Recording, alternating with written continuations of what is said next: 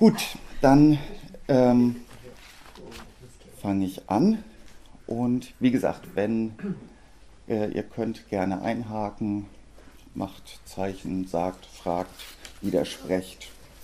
Und wenn ihr nichts sagt, rede ich halt einfach weiter. Ähm, genau, ich hatte es eben ja schon angedeutet, dass äh, Religionskritik einfach unter anderen Bedingungen stattfindet als im 18. Jahrhundert, wo es ja so die ersten öffentlichen atheistischen Kampfschriften der französischen Materialisten zum Beispiel gab. Und wie sehr sich die, äh, die Bedingungen verändert haben, denke ich, kann man zum Beispiel am äh, Imageverlust der katholischen Kirche ablesen.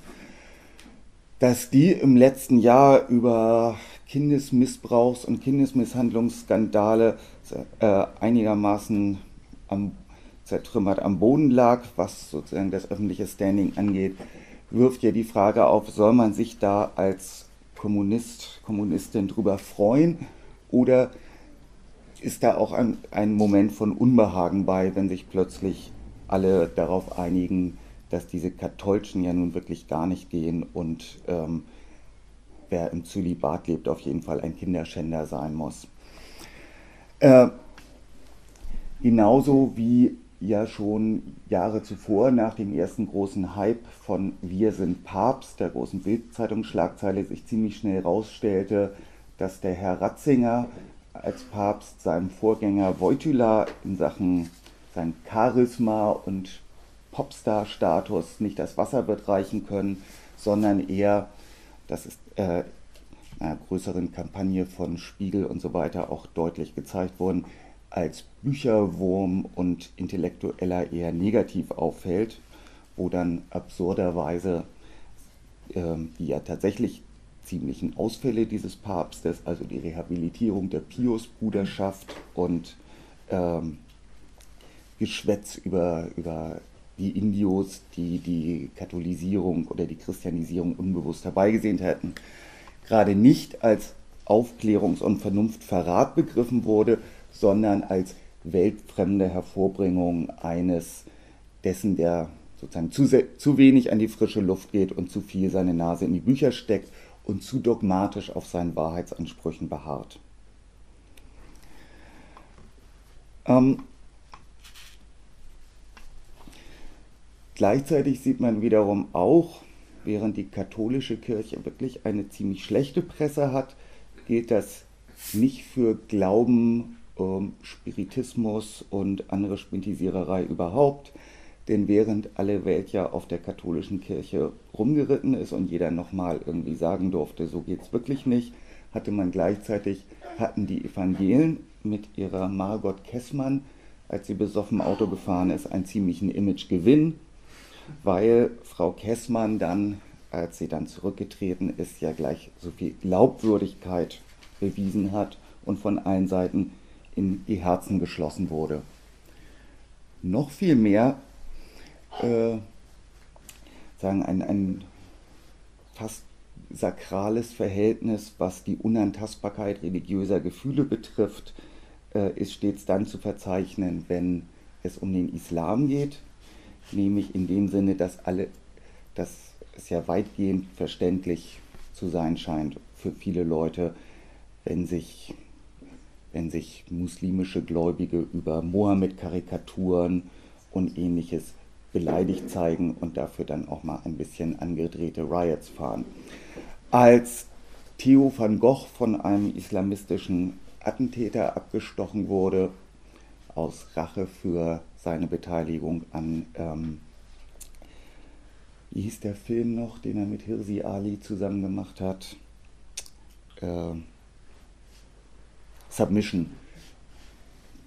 Ähm, also wegen seinem, seinem Drehbuch oder seiner, seiner Umsetzung von Submission von einem äh, Islamisten abgestochen wurde, gab es zwar in Holland ja einerseits ein, ähm, Demonstrationen und auch Angriffe auf Moscheen, andererseits aber eben von dem Justizminister der Niederlande, also eins der säkularisiertesten und tolerantesten Länder der Welt, ähm, den Vorschlag, den Blasphemieparagraphen doch wieder ins Strafgesetzbuch einzuführen. Und auch in Deutschland sind seit nach Jahren des Brachliegen dieses schon fast vergessenen Paragraphen erstmals ja wieder Leute verurteilt worden wegen Verunglimpfung des Islam.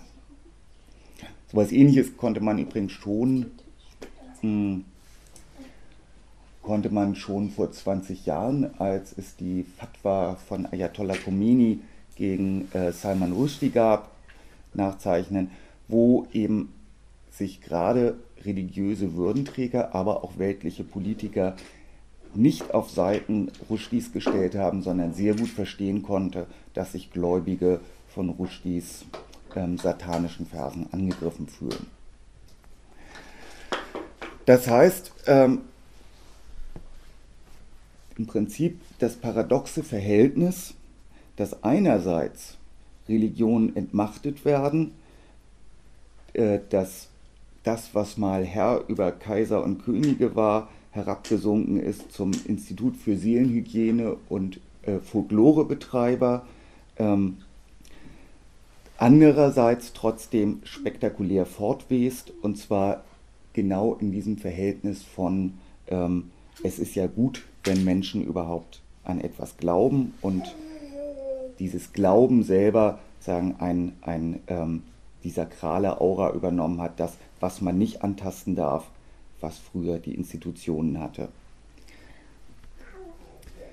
Mit ihrem Sturz, hatte ich geschrieben, konnten sich eben die Kirchen, auch die christlichen Kirchen, insoweit gut arrangieren, als sie eben, als gerade ihre spektakuläreren kulturindustriellen Events wie Kirchentage, die nach Woodstock-Format äh, aufgebaut sind, Motorradgottesdienste ähm, und hysterische evangelikale Veranstaltungen, wo die Leute ihren Zweifel in, einer, in Mengen überschreien können, dass gerade also diese Arten von Events äh, geradezu einen Boom haben, in den USA natürlich bekannt, äh, wo wo inzwischen mehr, mehr Christen den fundamentalistischen Sekten wie den Reborn Christians und so weiter anhängen als den sogenannten liberalen oder gemäßigten Amtskirchen.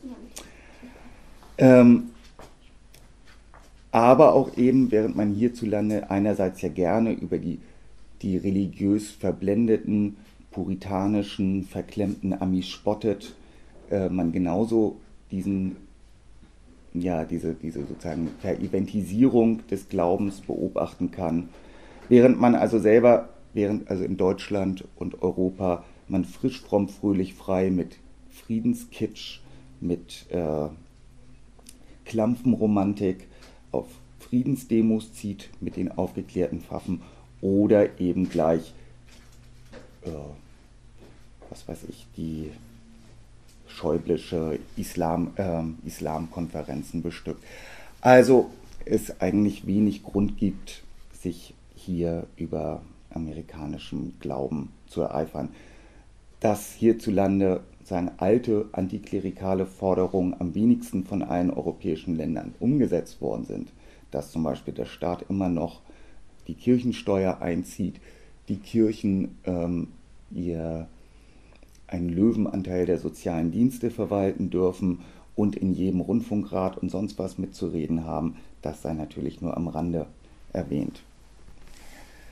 Was aber ein bisschen der Unterschied vielleicht, da müsste man diskutieren, von hiesigen, äh, also europäisch-deutschen Glaubensbooms äh, zu ihren amerikanischen äh, Konterparts wäre, wäre dieses noch sehr viel abstraktere Verständnis für, fürs Irrationale, also die ähm, Bereitschaft, den Glauben an sich, egal woran, für etwas Gutes, Wichtiges und Richtiges zu halten, ähm, die sich zum Beispiel in sowas äußert, wie dass eine hessische Kultusministerin fordern durfte, dass auch Kreationismus, also die Lehre, dass nicht die Evolution, sondern Gott oder irgendein Intelligent Design die Menschheit hervorgebracht hat, an den Schulen gelehrt werden sollte. Und zwar nicht, weil sie das irgendwie für die wahre Version der Ereignisse hielt, sondern weil es ja wichtig sei, eben alle Sichtweisen kennenzulernen und auch dieser verbohrte Aufklärungsfundamentalismus sich jetzt nicht so dogmatisch breit machen darf.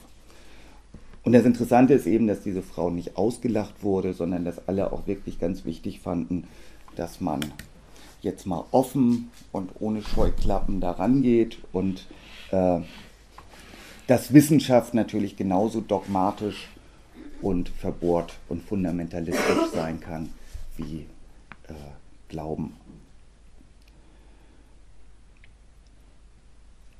Ähm, ja, dieses Verhältnis, also dieses merkwürdige Verhältnis von einerseits öffentlicher Entmachtung bei gleichzeitigem privaten Boom, finden wir, findet sich im Prinzip schon äh, in Marx Schriften analysiert. Von Marx stammt ja der berühmte Satz, dass die Kritik der Religion Voraussetzung aller Kritik sei. Und zwar eben Voraussetzung in dem doppelten Sinne, dass an der dass einerseits natürlich die religiöse Verklärung des Ist-Zustandes, ähm, dass daran damit die Kritik beginnen muss, andererseits aber eben auch Voraussetzung in dem Sinne, dass es dabei nicht stehen bleiben muss, sondern dass Marx zu seiner Zeit eigentlich schon davon ausgehen konnte, dass die Kritik der Religion weitgehend geleistet ist. Also von den erwähnten französischen Materialisten und dann natürlich von Feuerbach dass also die religiöse Verklärung ähm, des Ist-Zustandes, des Elends, etwas ist, was von den Verhältnissen selber schon überwunden wurde oder im Begriff war, überwunden zu werden. Gleichzeitig hat aber auch Marx festgestellt, ähm, und zwar in seiner Schrift zur Judenfrage, dass gerade in dem Land, in dem die bürgerliche Gesellschaft mit, sein, ähm, mit seiner Entmachtung dieser quasi noch mittelalterlichen religiösen Institute am weitesten fortgeschritten ist, also in den USA, dass gerade das das Land ist, in dem ähm, das Christentum sich in, in diversen Sektengestalten bester Gesundheit erfreute. Ähm, und sagte, Marx analysiert dann eben, dass genau dieser Zustand, äh, eben der der bürgerlichen Gesellschaft angemessene Zustand der Religion ist, also die Zersplitterung in diverse Sekten, wo man sich sozusagen auf dem Markt des Glaubens aussuchen darf. Was will ich, was möchte ich haben? Methodisten, Presbyterianer, äh, Baptisten und wie sie alle heißen.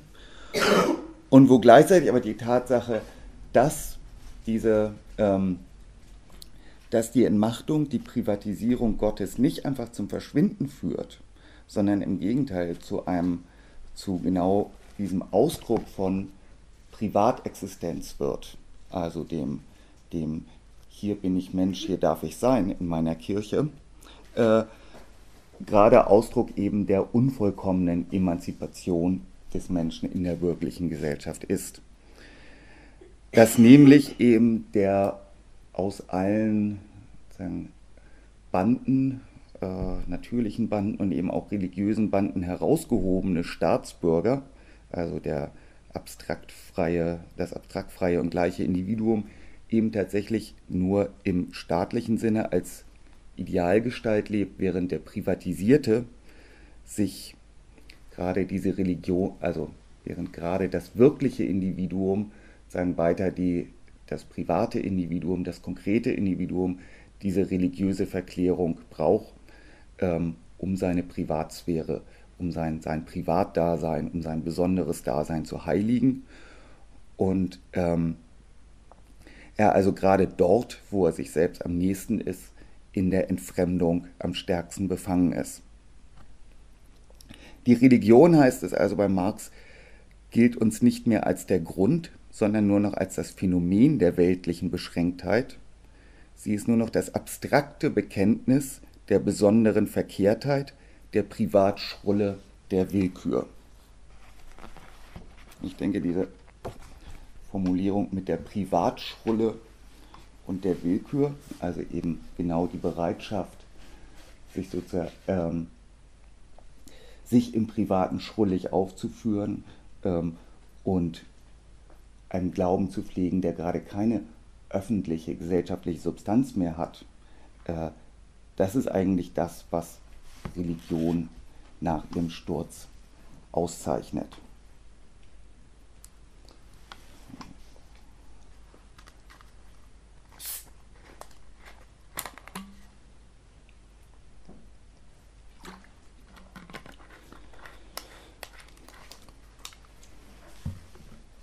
Willkür ist hier ähm, tatsächlich sehr wörtlich zu nehmen.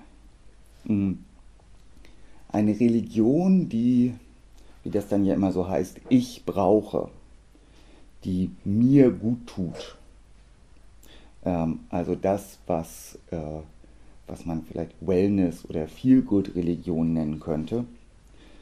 Ähm, das ist gerade die entmachtete, depravierte, um ihren objektiven Sinn gebrachte Religion. Und zwar einfach schon genau deswegen, weil Gott da drin eine abhängige Variable des subjektiven Bedürfnisses wird.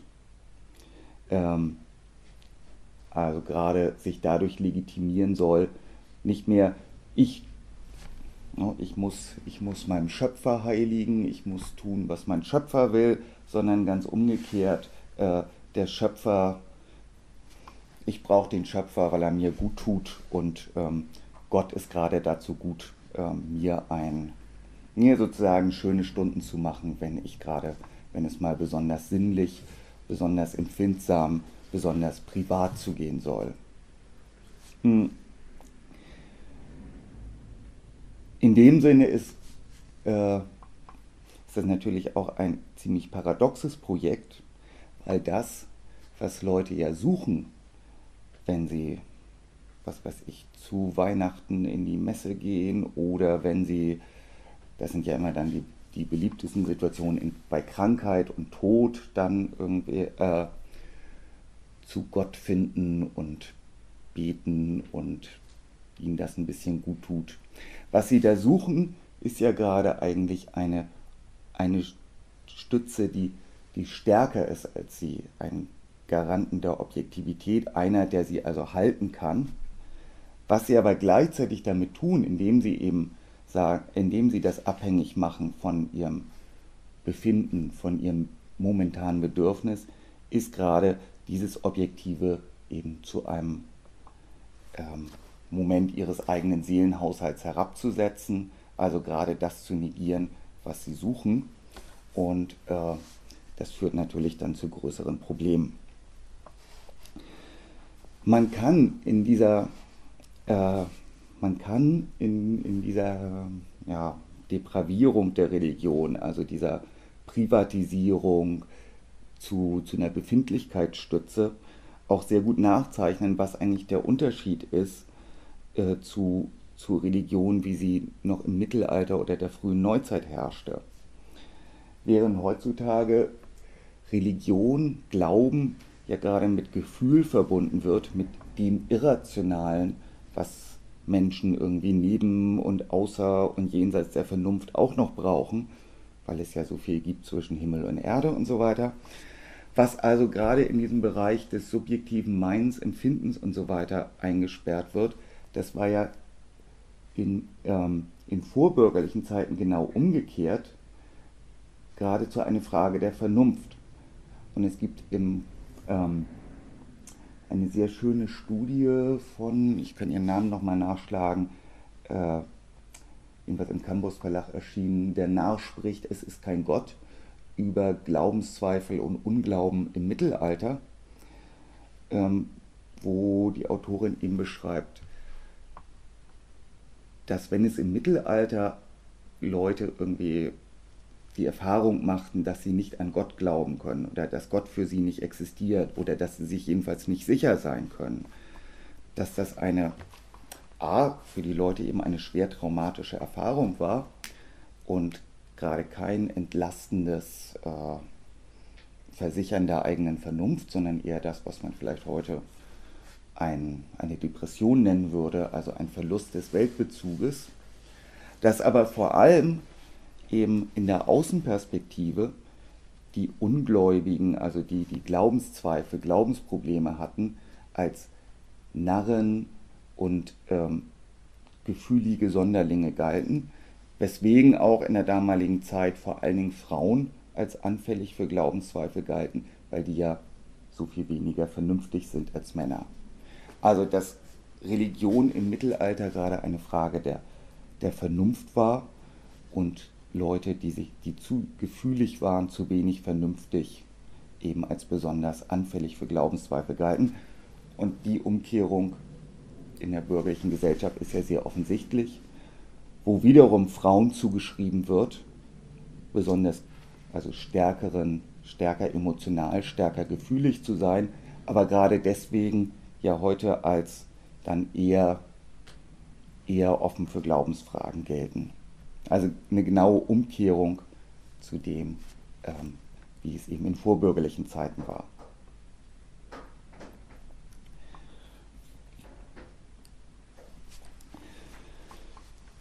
Der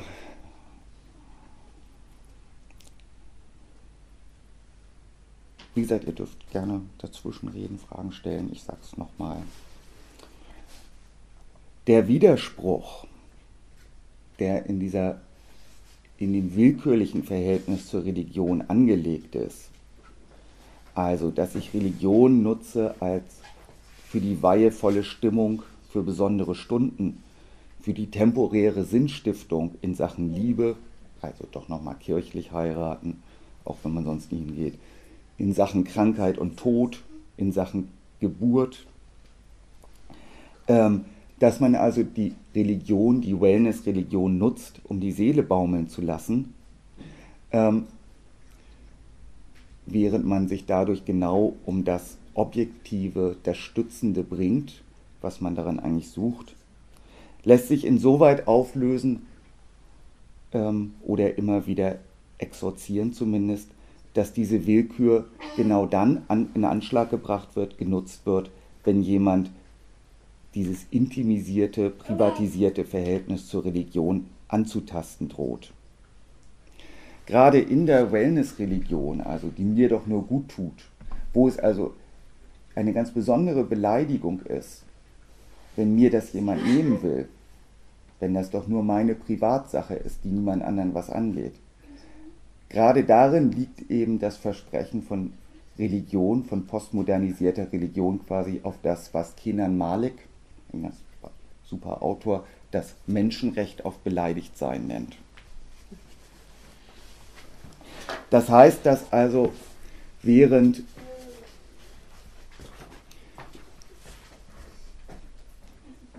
während Blasphemie in vorbürgerlichen Zeiten tatsächlich als Angriff gegen Gott wahrgenommen wurde, wo die Menschen nur stellvertretend für Gott gestraft haben, während das dann später ähm, sagen, in, in absolutistischen Zeiten als Angriff auf den Staat galt und, seine, und die Staatsreligion, das heißt als subversive Zerrüttung des Gemeinwesens, wo deswegen der Staat das Recht hat zu strafen, gilt Blasphemie heute in den entsprechenden ähm, Gesetzesvorstellungen und Diskursen als Angriff auf individuelle Identität, also auf genau das, ja, auf das Private, so bin ich, so will ich sein, was niemandem was angeht, ich bin ich und da hat niemand was reinzureden. Ähm, das ist natürlich wiederum am stärksten zu sehen in diesen Debatten um den Islam, wo eben gesagt wird, äh, das ist gerade, ja, wie, wie, wie funktionieren denn immer solche Sachen? Also, das ist deren, das ist eben deren Identität und das muss man denen auch lassen und das ist doch auch toll, wenn die noch so glauben können, was wir gar nicht mehr können und so weiter. Ähm, wo also niemand mehr sich in irgendeiner Form interessiert dafür, dass ein Wahrheitsanspruch gibt oder ob das überhaupt, ähm, überhaupt in irgendeiner Form nachvollziehbar ist, sondern dass es einfach reicht, dass es zur Identität von Menschen gehört, um das sozusagen strafbewähren oder zumindest irgendwie dissen zu können, wenn jemand da kritisch vorgeht. Aber ähm, ich denke, man kann auch mit, mit irgendwelchen Christen, die man mal anspricht, auf ihre Identität ähnliche Erfahrungen machen. Gerade als diese Identitätsstütze, die sozusagen tautologisch sich selber rechtfertigt. Mein Glauben ist mein Glauben und deswegen ist er gut, weil er mein Glauben ist. Gerade als diese depravierte, äh, um jeden Inhalt gebrachte Religion, ist sie eben die, ähm, die an ihre Gläubigen auch keine Ansprüche objektiver Natur mehr stellt. Wer heute sagt, ich bin, ich glaube, muss dafür keine Psalmen mehr auswendig können, er muss sich nicht mit den Tücken der Trinitätslehre umschlagen, er muss, nicht, er muss keine talmudischen Debatten nachvollziehen können, er muss keine Sufi-Rituale beherrschen oder buddhistische Kalligrafiezeichen können, er muss nicht jahrzehntelang in Askese leben oder sonst was, sondern er oder sie muss einfach nur wissen, wo der Feind steht. Und der Feind, das ist natürlich einerseits der Atheist, der Vernünftige, der Spötter, aber eben auch die Homosexuellen, die selbstbewussten Frauen, die je nach Perspektive Juden und Kreuzfahrer, wer auch immer.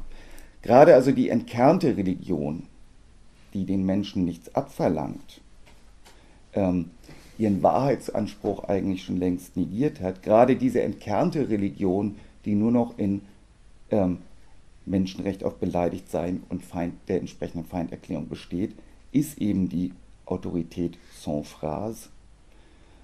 Ähm, gerade weil es also in ihr um nichts mehr in dem eigentlichen Sinne geht, um nichts, was irgendwie für Menschen ähm, tatsächlich von Bedeutung wäre. Gerade also, weil, ob nun irgendwie Ghettobewohner oder ähm, nahöstliche Tagelöhner sich, sich statt irgendwie um, um ähm, Brot und Jobs und äh, gesellschaftliche Teilhabe bemühen, sich lieber dafür, ähm, lieber dafür streiten, dass, äh, ja, was steht dann dann immer, dass es keinen vorehelichen Geschlechtsverkehr gibt. Also gerade dadurch, dass, äh, dass es in diesen ganzen religiösen Kampagnen, siehe eben USA, in einem Land ohne, Kranken, äh, kein, ohne vernünftige Krankenversicherung ist das wichtigste Thema bei Wahlen. Dürfen Schwule heiraten oder Lesben? Ähm, dürfen, muss an den Schulen Kreationismus gelernt werden oder so. Äh, also gerade dieses total absurde, dieses total von jedem, jeder wirklichen, von jeder Lebenswirklichkeit abgezogene, ähm, macht aus, dass Glauben quasi die genuine Absage an Vernunft und Freiheit ist, die sie eben in Zeiten von gesellschaftlicher Substantialität so eindeutig nie war. Wenn Marx also sagen konnte über Religion, ähm, dass sie der Seufzer der bedrängten Kreatur ist, äh, Ausdruck des wirklichen Elends und Protestation gegen das wirkliche Elend, dann kann man davon heute schwerlich reden, sondern muss tatsächlich eher vom Rülpser der Verachtung für Luxkolm und Volupté sprechen, vom Ausdruck einer allgemeinen Hoffnungslosigkeit in dem Sinne, dass äh, das, was man, in dieser, was man in der Religion sucht, eben nicht mehr der Funken des Besseren ist, ein Ausblick auf ein schönes Jenseits, sondern die Verewigung eines höllischen Diesseits. Hoffnungslosigkeit also genau das, was der Religion einmal als Todsünde galt.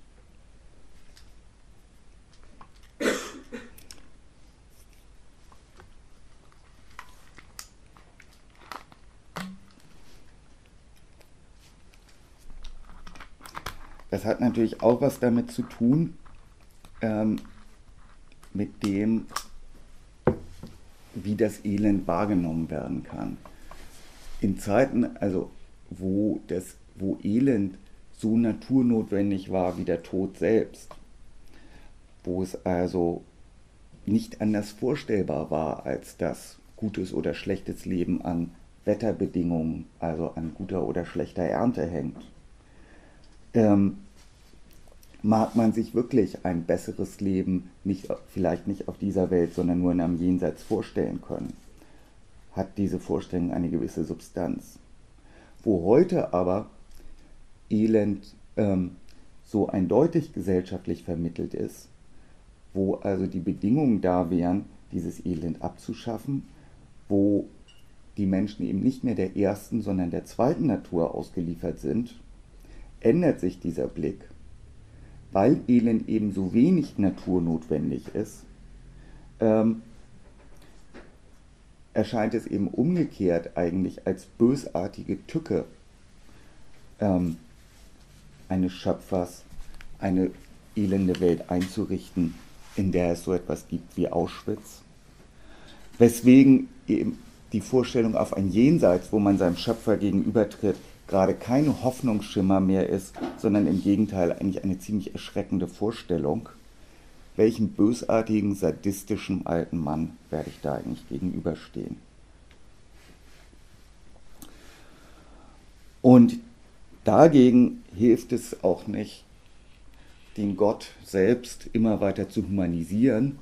Also diese ganzen, äh, den zornigen alten Mann des Alten Testamentes immer netter und, und freundlicher zu gestalten und zum Beispiel, wie die Evangelien es tun, einfach mal die Hölle abzuschaffen. Denn ähm, die Vorstellung, die Vorstellung, dass alle in den Himmel kommen und niemand mehr in die Hölle, hat ja auch was sehr Deprimierendes wenn ich also das Paradies mit meinem Chef und dem Sozialbearbeiter vom Arbeitsamt und sowas teilen muss.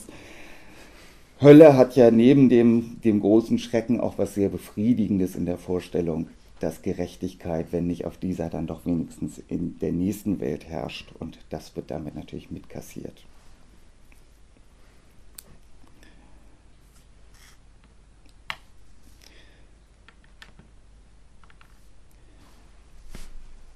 Weil die, ähm, weil die Verhältnisse so sind, wie sie sind, weil also die Religion als privatisierte, ähm, als depravierte eben dieses Willkürliche ist, an das man eigentlich gar nicht mehr richtig glauben kann, weil es gar keine Substanz hat zum Glauben, wäre es auch ein Irrtum, würde man glauben, dass die Gläubigen einfach ganz naiv glauben.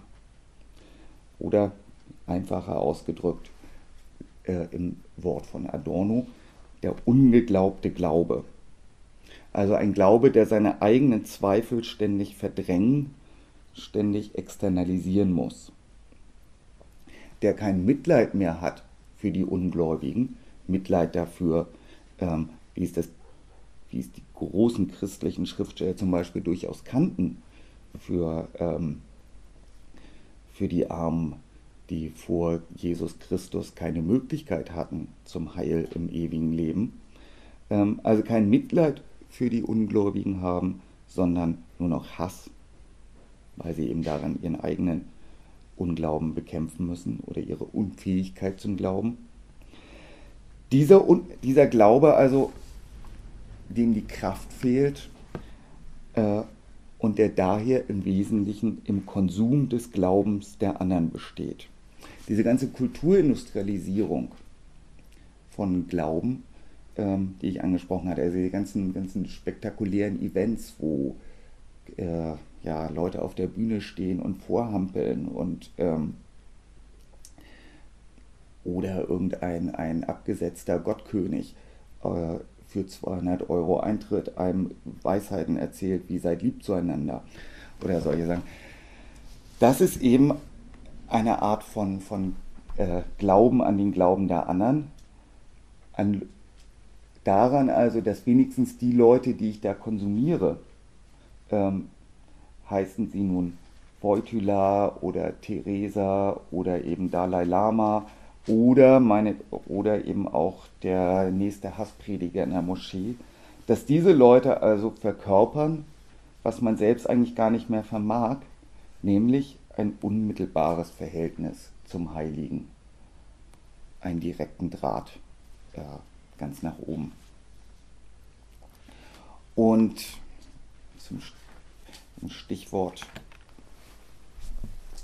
Stichwort Hassprediger, ich denke, dass die politisch relevanteste Form, in der das heutzutage auftritt, dieser Glauben an den Glauben der anderen oder den Konsum des Glaubens der anderen, eben der okzidentale Islamneid ist.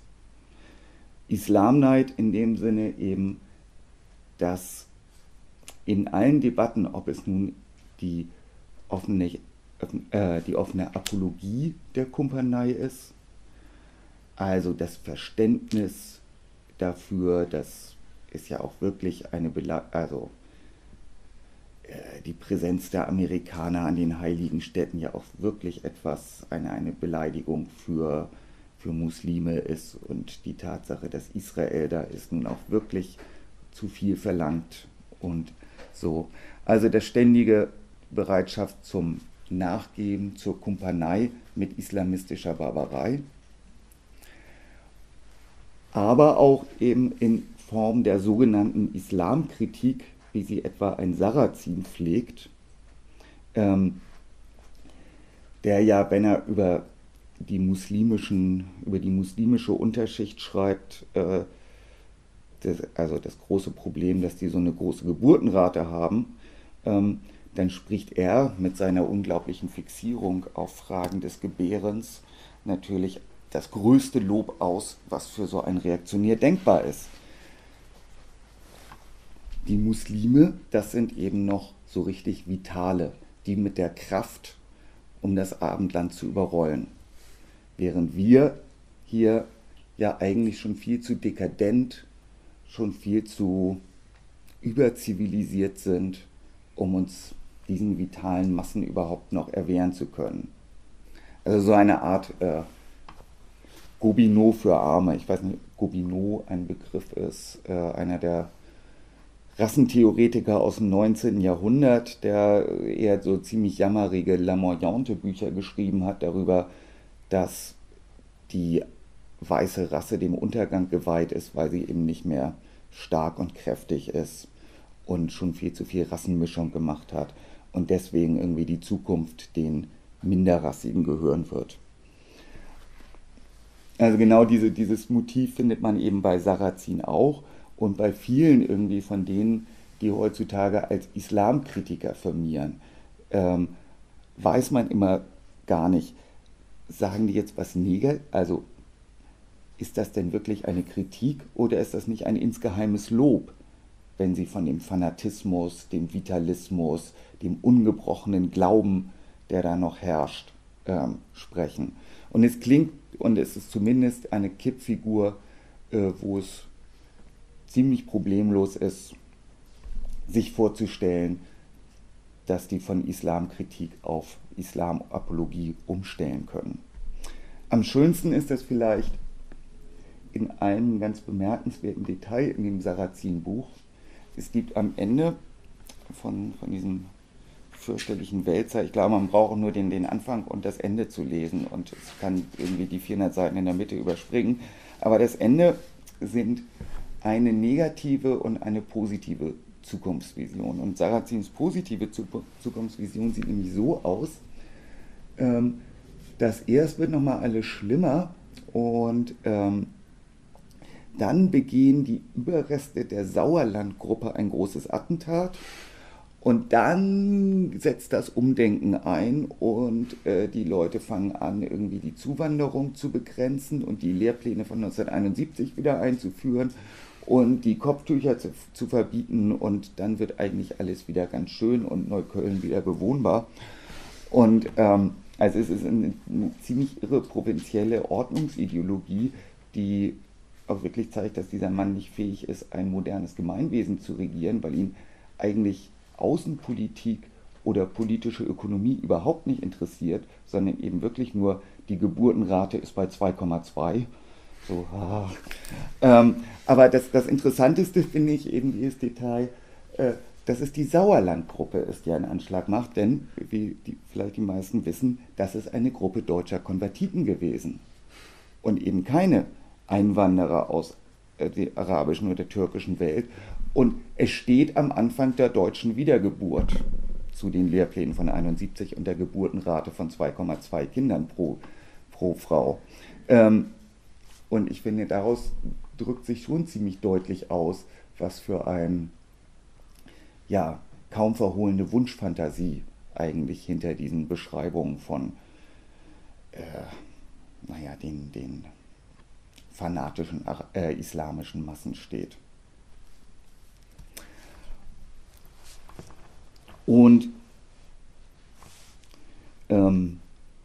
es ist, muss man natürlich immer sagen, ein Bild, denn während, während dieses Bild vom zum Beispiel islamischen Selbstmordbomber, der wirklich so tief glaubt, dass er sein eigenes Leben zu opfern bereit ist, der also das schafft, was ich mir gar nicht mehr vorstellen kann, der nicht dekadent und feige ist, der sozusagen meine antizivilisatorischen, antisemitischen, antiamerikanischen Affekte für mich auslebt und damit irgendwie eine Art von ähm, psychische Rolle für mich spielt, wie sie auch das Konservendosengelächter bei der Comedy spielt, nämlich mir sozusagen die Emotionen abzunehmen. Während also dieses Bild ähm, vorherrscht, hat es natürlich mit der Wirklichkeit äh, gerade des fundamentalistischen Islams, äh, des, des, politischen Dschihadismus ziemlich wenig zu tun. Denn ähm, gerade die Leute sind ja im, am wenigsten die, die sagen, aus einer noch stabilen, traditionellen Kultur kommen, wo seit Jahrhunderten irgendwie der Islam von, von Vater auf Sohn weitergegeben wird und so weiter, äh, sondern meistens äh, gerade Leute, die mal im Westen studiert haben, die einen modernen Beruf haben wie Ingenieur oder Naturwissen, also ähm, besonders beliebt sind eben oder besonders hoch, hohen Anteil an der Selbstmordattentätern haben eben wohl Ingenieure und ähm, so naturwissenschaftlich gebildete Techniker. Und ähm, die also selber ein ungemeines Problem haben mit ungeglaubten Glauben, mit dem eigentlich besser Wissen oder dem wieder besseres Wissen, die also selber vielleicht im Selbstmordattentat ihre eigenen Glaubenszweifel überwinden müssen und die auf jeden Fall in der Regel einen sehr starken Hang zu Kameras haben, vor der sie ihre tollen Reden schwingen können. Ich weiß nicht, ob jemand den Film For Lions kennt. Äh, wird das so ein bisschen vorgeführt, wie da Leute dann sich inszenieren vor der Kamera und äh, so eine tolle Rede, warum sie sich demnächst in die Luft sprengen, schon mal einfangen. Also sehr gerne vor Kameras sich in eitler Pose werfen oder ihre Snuff-Movies ins Internet stellen. Ähm, und auf jeden Fall, wie Kenan Malik bemerkt, in ihren Kommandoerklärungen zigmal mehr von sich selbst als von Allah sprechen.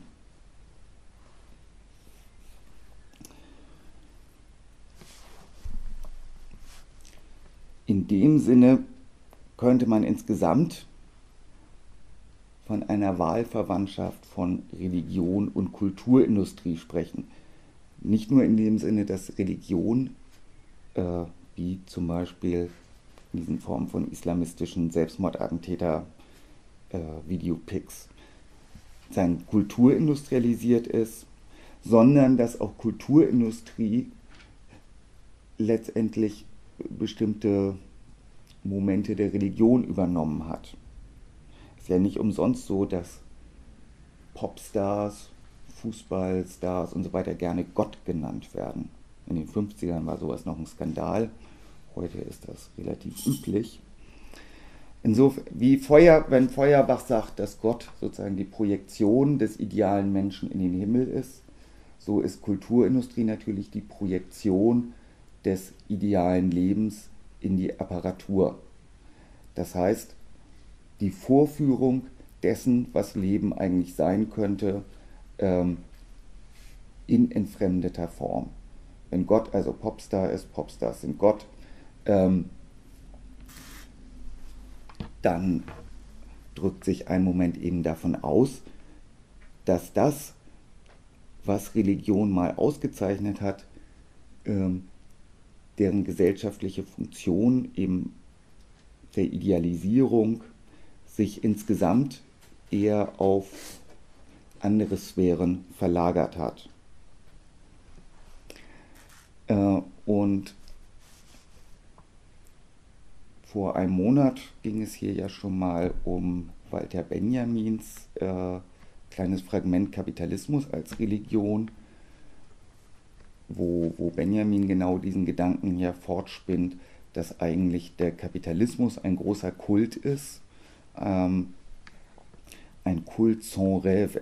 Et sans merci, also ohne Traum und ohne Gnade, mh, sondern ein Kult, der wie gerade die frühesten und archaischsten Kulte einer ist, der sich, mh, der sich selbst sozusagen unmittelbar als Praxis missversteht.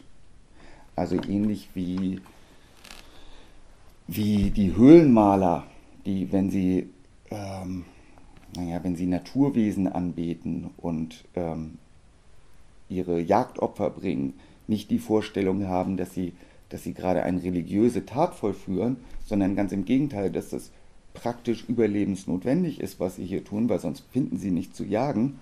Ähm, genau in dem Sinne würde der kapitalistische Kult, der Dienst an der Ware, sich sozusagen genau auch als das pragmatischste ähm, notwendigste, praktischste missverstehen.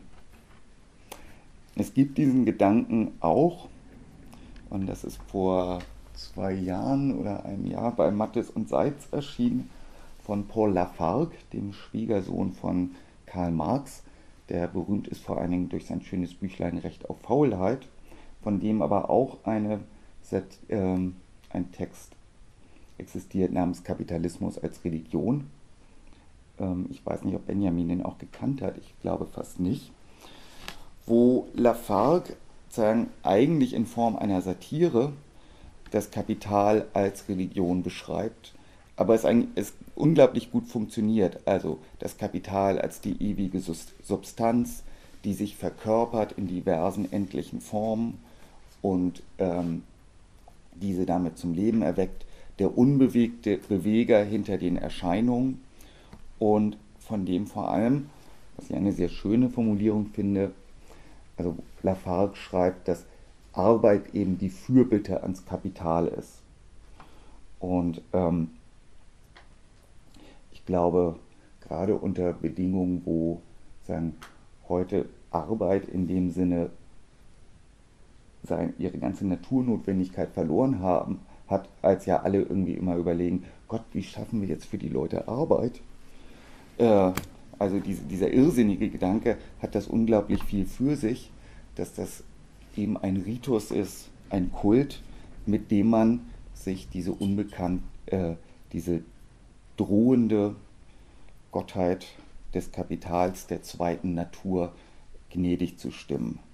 Und zwar eben sowohl, ob es nun in den ABM-Maßnahmen oder in den bescheuertesten also in den, den 1-Euro-Jobs oder in den ganzen bescheuerten Tätigkeiten, die der Kapitalismus so schafft, wie Personalmanagement und solche Dinge, äh, aber eben auch in der Art, wie man ansonsten so sein Leben fristet, äh, indem man also Gehirnjogging betreibt und sich fit hält und stets bereit und flexibel und so weiter.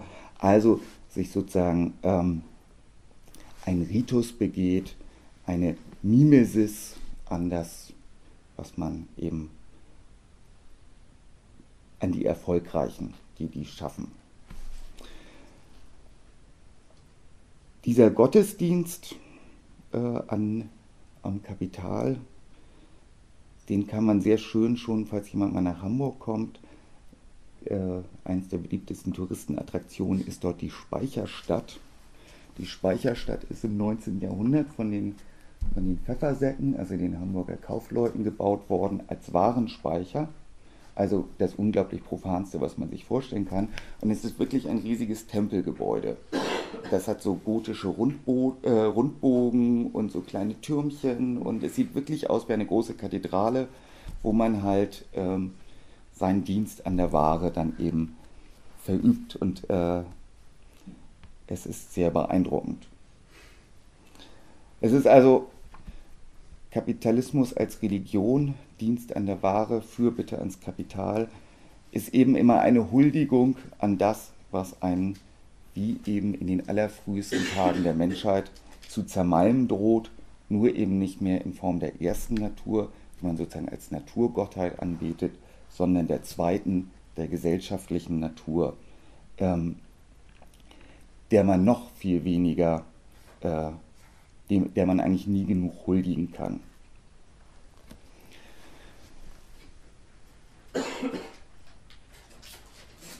die ewig. Äh, muss ich mal gucken, wo habe ich hier.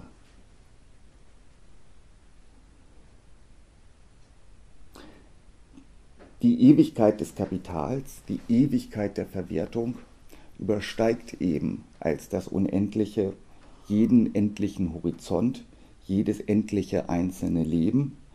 Ähm, trotz des bürgerlichen Phantasmas des vom Weiterleben nach dem Tod in Form des Erbes.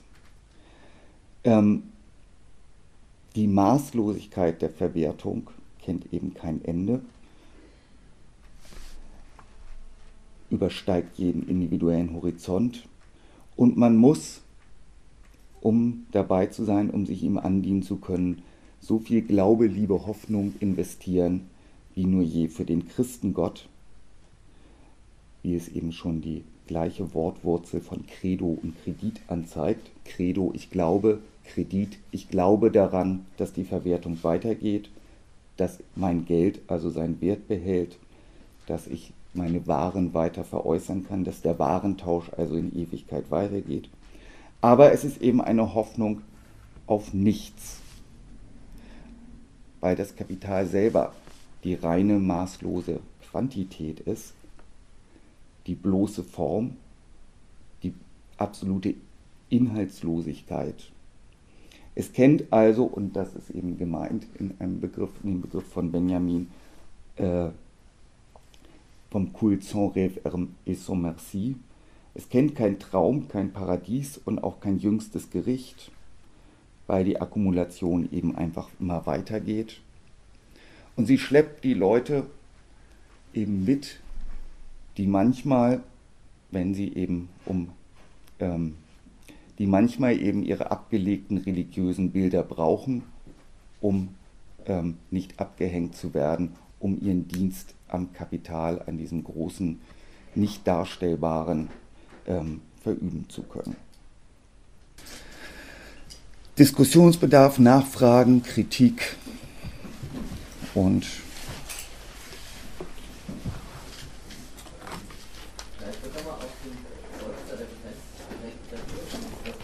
Mhm.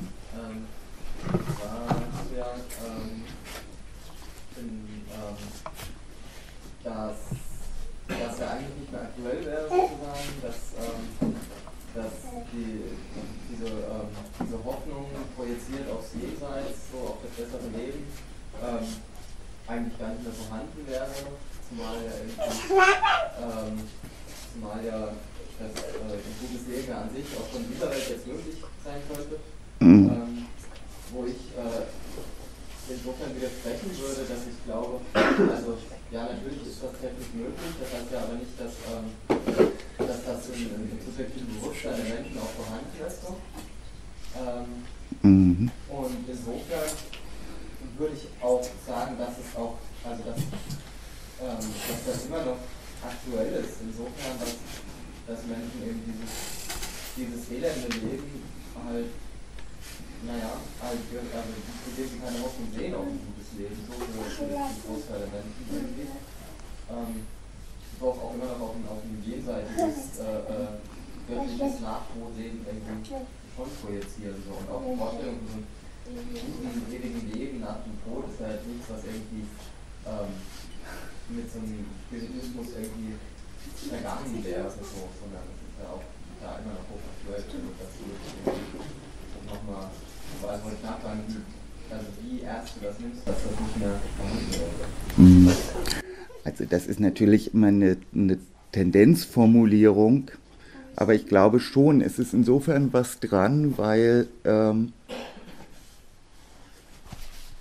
Also ich würde mal ausgehen davon, eine Sache, die, die Dawkins in seinem Buch beschreibt, was ich eine interessante Beobachtung fand, war, es gibt ja immer die Vorstellung davon, dass der Bekehrung auf dem Totenbett, also der Vorstellung, dass irgendwelche Atheisten, wenn sie kurz vorm Tod stehen, dann doch sagen, oh nein, so, oh Gott, angesichts des Schreckens, jetzt glaube ich doch an Gott und so. Ähm, und dass er dem gegenüber meint, dass er eigentlich gerade diese unglaubliche Angst vorm, vorm Tod eher bei Gläubigen, bei Christen wahrnimmt, als bei Atheisten. Und ich hatte da so überlegt, naja, okay, das hat, das hat ja schon eine, eine gewisse Wahrheit, weil, ähm, so wie ich eben meinte, ich trete dann einem, trete dann einem Schöpfergott gegenüber, der offensichtlich auch das ganze schreckliche Elend in dieser Welt zugelassen hat, was ja ein, ein, ein in starken Sinne nicht notwendiges Elend ist. Und ich glaube, äh, ich glaube, es macht eben schon einen Unterschied, wie man kann nicht einfach, also selbst wenn im subjektiven Bewusstsein natürlich nicht, nicht so drinne ist, es könnte alles besser sein, wenn es einfach nur eine solidarische Menschheit gäbe, die was weiß ich, Ware, Geld und so weiter abschafft und äh, im Verein freier Menschen mh, hm, vernünftig plant.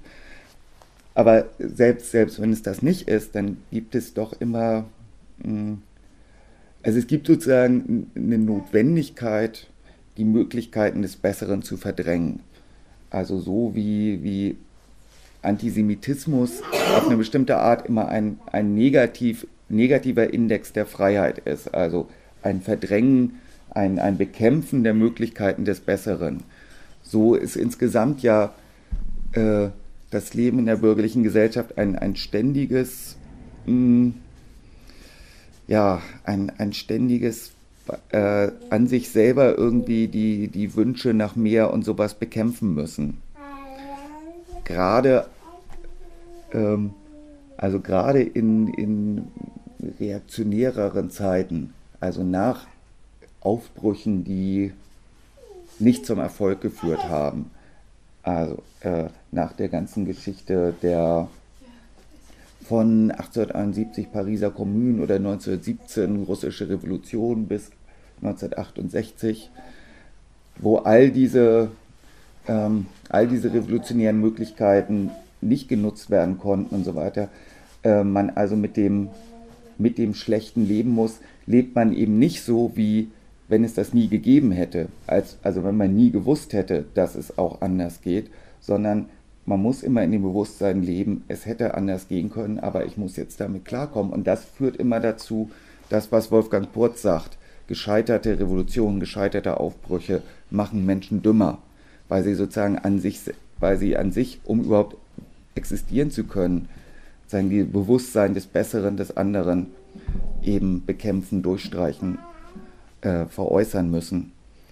Und des, deswegen glaube ich schon, dass sich einfach die, die Bedeutung, ähm, die Religion dafür hat, äh, sehr viel stärker auf diese, die Bekämpfung des Besseren, die Bekämpfung des, des Wissens oder der Ahnung, dass ein anderes Leben doch viel schöner und besser möglich wäre, verschiebt.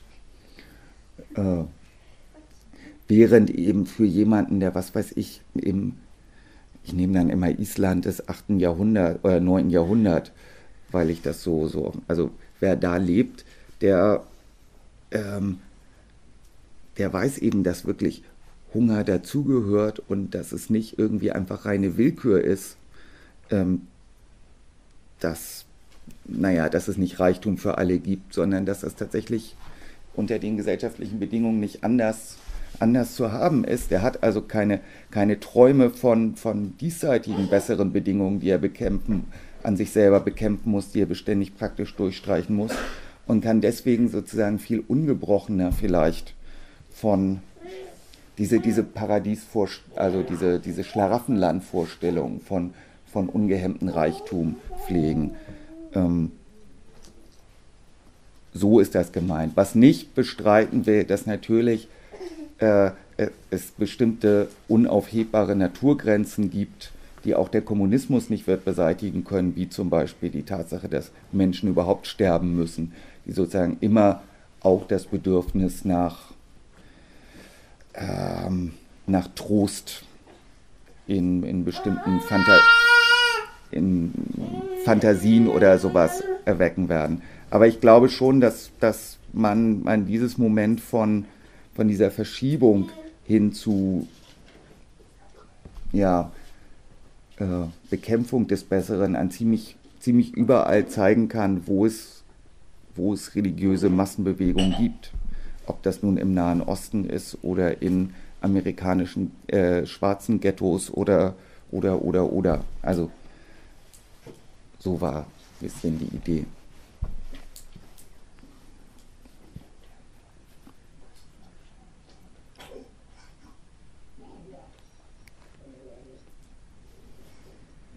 Dazu kommt, dass sich natürlich die bürgerliche Gesellschaft ähm, auch andere Medien geschaffen hat, um äh, Träume, Utopien und sowas von besseren Leben zu entwerfen. Also die äh, Kunst und Literatur, aber auch Technik und äh, all das. Das heißt, Religion hat ja eben sowieso schon mal, ist nicht mehr unangefochten in, für, für diese Art von Fantasieproduktion, sondern ist, das hatte ich ja versucht äh, zu zeigen, eh schon mal sehr viel begrenzt und, und ähm, entwertet worden.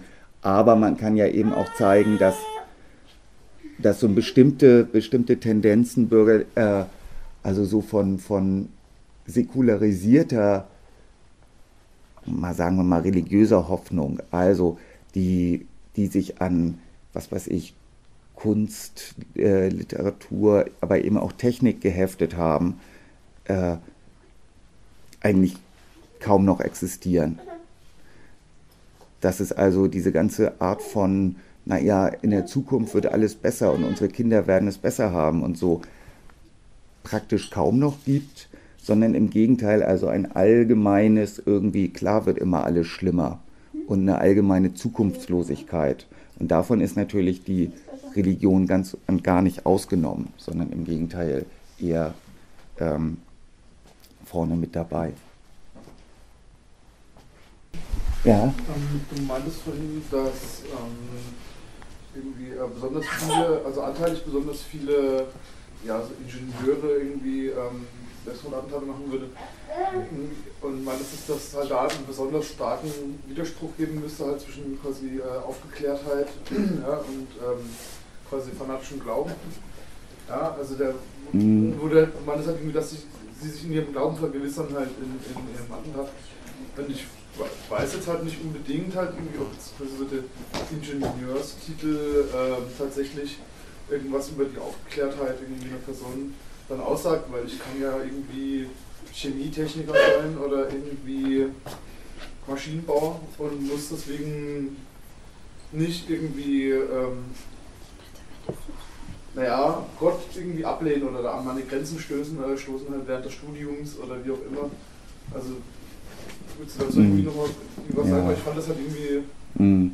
es widerspricht sich nicht zwangsläufig jetzt. Nein, es widerspricht sich ganz offensichtlich nicht. Ähm, so, so, dann war es auch vielleicht ein bisschen verkürzt gesagt. Also natürlich ist es auch so, äh, dass gerade diese, sagen wir mal, praktisch orientierten naturwissenschaftlichen Tätigkeiten überall irgendwie ganz erstaunlich viele Formen von Esoterik und Spinnerei hervorbringen, egal wo. Aber also mir ging es erstmal darum, dass das Bild, das ähm, also das Bild von, von Selbstmordattentätern äh, oder überhaupt islamischen Fundamentalisten ist ja häufig eins, ob, ob nun irgendwie kritisch oder apologetisch, die so ein bisschen eben sich vorstellt, das sind Leute, die irgendwie so, so verankert sind in ihrem Glauben, dass ihnen ihr eigenes, äh, eigenes Leben nicht so wichtig ist im Vergleich zu der religiösen Pflicht und dass die eben wirklich noch eine Idee haben, für die sie auch sich, sich bereit sind zu opfern.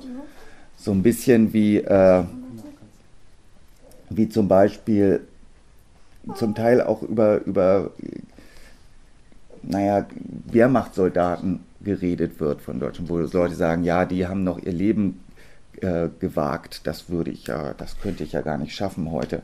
Also so eine Art so von komischer Verehrung. Und da würde ich eben, gegen, ähm, da ging es mir erstmal darum, dass, dass gerade in diesen ähm, dschihadistischen Sekten ziemlich wenig Leute sind, die keine Ahnung, aus einer ungebrochenen islamischen Tradition aus dem tiefsten Anatolien kommen, wo sie eigentlich nie irgendwie was anderes als den Koran gelesen haben, sondern die im Gegenteil meistens irgendwelche biografischen Brüche hatten, weil sie, äh, keine Ahnung, im Westen studiert haben und ähm, bei Sayyid Qutb zum Beispiel, also einem der Chefideologen der Muslimbrüderschaft, findet man so Schilderungen aus, aus seiner Zeit in Amerika, wo, wo also mit Händen zu greifen ist, wie, wie ihn das auch fasziniert hat, zum Beispiel irgendwelche Tanzveranstaltungen zu sehen, die er natürlich dann mit Abscheu schildern musste. Äh, so, so viel nackte Haut und ganz schlimm und unmöglich, aber gleichzeitig von, von totaler Faszination, also mit einer unterschwelligen Faszination erfüllt. Und ähm, dass das eigentlich ein häufiger Lebensweg ist und dass zu dieser Art von sozusagen eigentlich ein, ähm,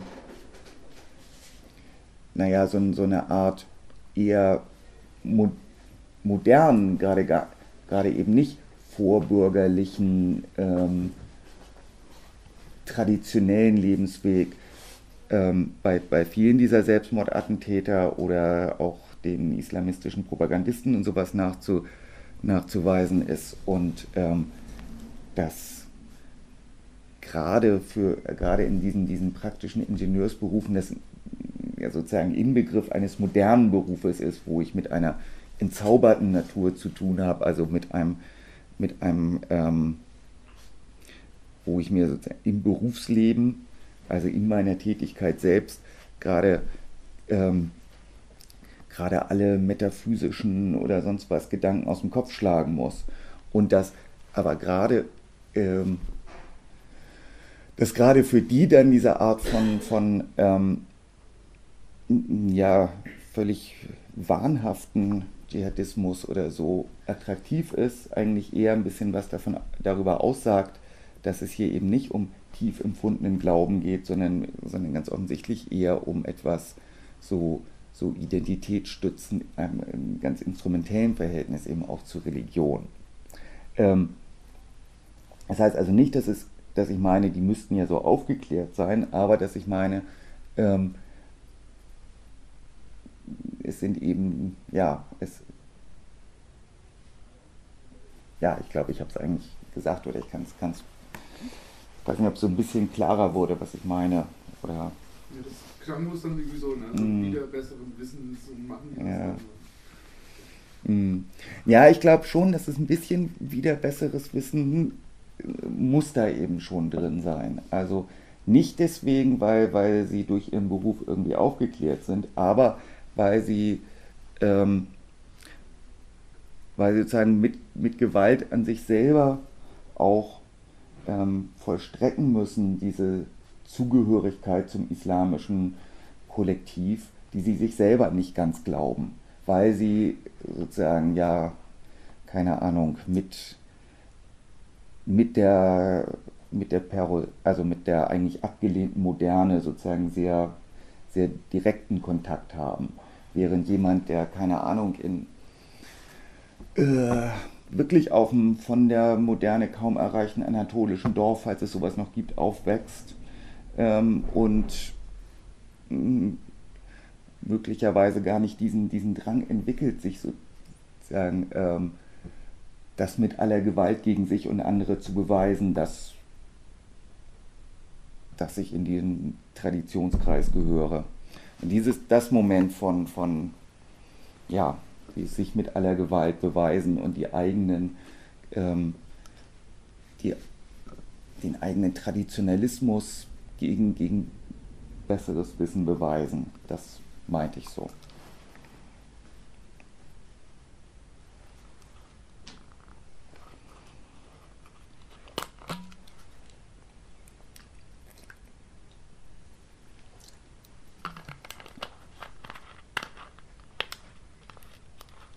Gut, sonst kann ich vielleicht noch mal, wenn es jetzt keine dringenden Wortmeldungen gibt, noch mal etwas kürzer und vielleicht etwas thesenförmig sagen, was ich mit der Kritik von der Religionskritik meinte. Ähm, ein bisschen ist es, glaube ich, schon auch in dem, was ich vorher gesagt habe, angeklungen. Also dieser, dass der Wandel in der Bedeutung von Religion, also was früher seine unmittelbare Vergesellschaftungsinstanz war, heute eigentlich eher eine Art von Entgesellschaftung, Privatisierung und so weiter ähm, unterstreicht, dass das eben auch natürlich in eine Religionskritik eingehen muss, ähm, während, mh, während die gerade die erfolgreiche, also die von Dawkins und Hitchkins in Tradition des Positivismus, eigentlich so etwas wie gesellschaftlichen Funktionswandel von Religion schon allein deswegen gar nicht kennt, weil sie weder Gesellschaft noch Geschichte kennen. Äh, und deswegen ist häufig, also Dawkins weniger, äh, aber Hitchkins ist ein, ein sehr nett zu lesender Autor, macht, macht großen Spaß und auch Dawkins hat wirklich ein paar schöne Pointen und man freut sich natürlich wirklich sowas zu lesen, aber es gibt gleichzeitig auch so ein, ein gewisses Unbehagen da drin und das fängt eben damit an, dass eigentlich für sie ähm, nicht nur Religion unter Metaphysikverdacht steht, sondern eben auch äh, das genaue Gegenteil, nämlich die, die eine in Tradition von Marx stehende Religion und eben damit auch Gesellschaftskritik. Äh, und sondern ja eben nur zählen soll, also es tatsächlich diese Vorstellung gibt von, ähm, so, da es jetzt naturwissenschaftliche Erklärungen für bestimmte Phänomene gibt, braucht es eben keine Religion mehr. Und ähm, das muss man jetzt eigentlich nur den Leuten nochmal so richtig klar machen. Das erstmal bemerkenswerte Paradox, was, ein, was einem vielleicht bei, bei all diesen Autoren auffallen kann, ist, dass die, die, die Menschenfreundlichkeit, ähm, auf die sie sich ja berufen, dass Religion eben menschenfeindlich ist, despotisch, äh, das Unglück der Menschen verstärkt, dass diese Menschenfreundlichkeit ganz schnell in eine, ganz, in eine bestimmte Form von Misanthropie, also Menschenfeindlichkeit, umschlägt, was auch eine, eine Logik hat. Denn ähm, wenn Religion einfach, sagen wir, ein Irrtum über die Welt ist, über die Welt, wie sie, wie sie verfasst ist, äh, eine falsche versus die richtige Erklärung der Welt, ähm, dann kann man, dann steht man natürlich ganz schnell vor der Frage, okay, aber äh, wenn die Menschen nun einfach seit Jahrtausenden diesen blödsinnigen Irrtum, diesen, diesen ganzen Blödsinn mitmachen, haben sie es dann nicht eigentlich irgendwie auch nicht besser verdient? Äh, und gerade Karl-Heinz Deschner, also Deutschlands bekanntester Kirchenkritiker, hat diesen unglaublich misanthropischen Einschlag, ähm, sich zum Beispiel eben darin äußert, dann, dass tatsächlich Tiere doch die besseren Menschen sind und äh, hat ein ganz furchtbares Buch über namens Der Moloch über die Amerikanisierung der Welt geschrieben, was also vor Ressentiments gerade zu, also gerade gegen die Moderne, die er dann mit Amerika verbindet, nur so strotzt, also wirklich. Ähm, aber eben auch bei Dawkins und Hitchens ist das zwar angelsächsisch gemäßigter und insgesamt etwas freundlicher und zivilisierter, aber eben dann doch. Und die haben, wie die, wie halt irgendwie die, die Aufklärer, die frühen Materialisten, sich ja eben auch erklären mussten, wie es eigentlich in der besten aller Welten, nämlich der bürgerlichen, trotzdem so einen Unsinn wie Religion geben kann und dann auf die Priestertrugsthese verfallen sind, nämlich dass einige, einige böse, finstere Gesellen irgendwie den anderen diesen Quatsch einreden, haben eben Dawkins und Hitchens die sozusagen eine Art biologische Priestertrugsthese, nämlich dass das menschliche Gehirn halt so mh, unterentwickelt ist und so schlecht eingerichtet, dass es einem die Religion vorgaukelt. Da gibt es dann eben schöne Formulierungen über, raussuchen, äh, dass wir Menschen nämlich eben mit überdimensionalen Adrenalindrüsen und einem zu klein geratenen präfrontalen Kortex eigentlich gar nichts anderes können, als anthropomorphe Ursachen in die Natur projizieren und ähm, dementsprechend von Natur aus egozentrisch, voller Konstruktionsfehler einfach die Nase zu hoch tragen würden. Ähm, das ist letztendlich mm, ja tatsächlich die logische Konsequenz daraus, dass es eine Geschichte für sie eigentlich auf einer bestimmten Ebene nicht gibt. Auf einer bestimmten Ebene gibt es sie, nämlich als naturwissenschaftlichen Fortschritt, der Religion unnötig macht. Auf der anderen Ebene gibt es es eben nicht, weil Religion immer schon ein dummer Irrtum war, zu dem Menschen aber immer schon wegen den präfrontalen Kortexen geneigt haben. Ähm, was es eben nicht gibt, ist ein dialektischer Geschichtsbegriff, der also Bewusstsein als, ähm, ja, als äh, menschliche Geschichte der zumindest möglichen Emanzipation denkt. Das heißt eben als ein zu sich kommen der, na das wird zu hegelisch, aber eben ein, ein zu sich kommen der Gattung möglich denkbar macht in der Bewältigung von Natur, in der Bemeisterung von Natur, wozu dann eben auch Religionen ihren Beitrag äh, geleistet haben könnten. Das heißt also, die Religion, einfacher gesagt, nicht auch in eine Fortschrittsgeschichte des menschlichen Denkens ähm, dialektisch trotz allem Brutalen und Bösen, was mit den Religionen gekommen ist, ähm, denken können. Ich mache das mal, um es anschaulich zu machen, an einem Beispiel, was sowohl bei Dawkins und Hitchens als, ähm, als ein besonders schlagkräftiges Beispiel für die Bösartigkeit und Brutalität der jüdisch-christlichen oder der, der abrahamitischen Religion, also Judentum, Christentum, Islam, gesehen wird, nämlich die Geschichte von Abraham und Isaak. Das ist ja eben die Geschichte, dass Gott Abraham befiehlt, seinen einzigen Sohn äh, zu opfern und Abraham dann auch äh, gehorsam ist, aber in dem Moment, wo er dann eben Isaak totstechen will, kommt ein Engel vom Himmel und sagt, stopp, nein, du bist gehorsam gewesen, das ist alles toll und brauchst deinen Sohn nicht zu opfern, nimm, kannst stattdessen irgendwie eine Ziege nehmen.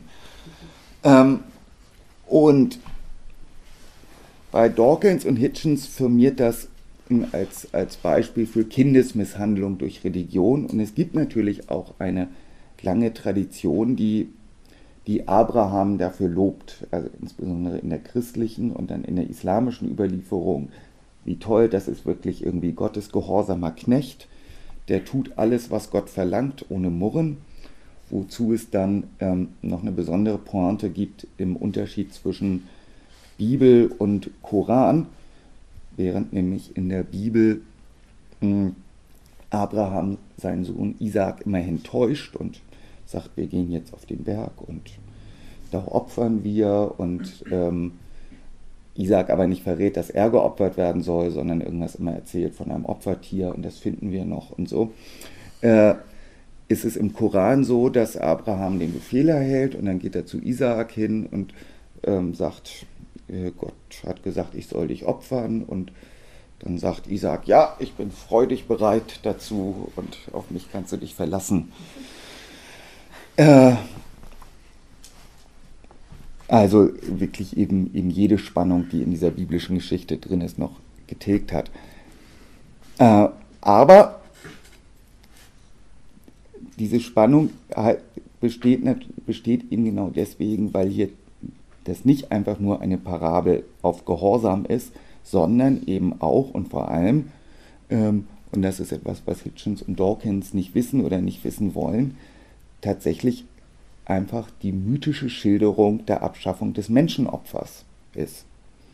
Ähm, das in allen Religionen damals weitgehend übliche Menschenopfer, häufig eben das Opfer des Erstgeborenen, ähm, dem dann der jüdische Gott für seine Gläubigen Einhalt geboten hat, mit eben dem ähm, stattdessen ein Tier opfern. Und was auch in, in diversen Ersatzhandlungen ähm, des Judentums drinne ist. Also zum Beispiel auch die, die Beschneidung als, äh, als, sozusagen ein Ersatzopfer, die Vorhaut statt des ganzen Penis und in den jüdischen Speiseriten ähm, sozusagen nur bestimmte Sachen, die nicht zusammengegessen werden dürfen, statt irgendwie des Speiseopfers. Also in dieser ganzen Ersetzungshandlung eben einen ganz eminenten Fortschritt der Vermenschlichung war, der Vermenschlichung des Menschen. Ähm, und damit eben nicht in dieser Kindesmisshandlungs- und Gehorsamsgeschichte aufgeht. Und insgesamt ist es ein bisschen das, das Problem gerade einer geschichtslosen Religionskritik. Äh, an dieser Abraham-Isaac-Geschichte kann man das besonders schön deutlich machen, aber insgesamt ist es so, ähm, natürlich, wenn ich, wenn ich so einen Religionsvergleich mache und ich gucke mir, guck mir einfach die Heiligen Schriften an, dann ist natürlich das Alte Testament im Vergleich zum Neuen und wahrscheinlich auch im, selbst im Vergleich zum Koran das mit Abstand blutigste. Da werden einfach ständig irgendwie Städte zermalmt und alle Einwohner geschlachtet und ähm, all sowas. Und insofern landen eigentlich ähm, diese, die Arten von Religionskritiker, die so ein unmittelbares, geschichtsloses Verhältnis zu diesen Texten einnehmen, letztendlich, ob sie wollen oder nicht, immer ähm, beim Judentum als der Wurzel allen Übels. Hm. Das ist zum Beispiel auch bei dem Deschner in seinen Kirchengeschichten so, dass er, wenn er das einerseits greift er natürlich immer das Christentum an dafür, dass es antijüdisch ist.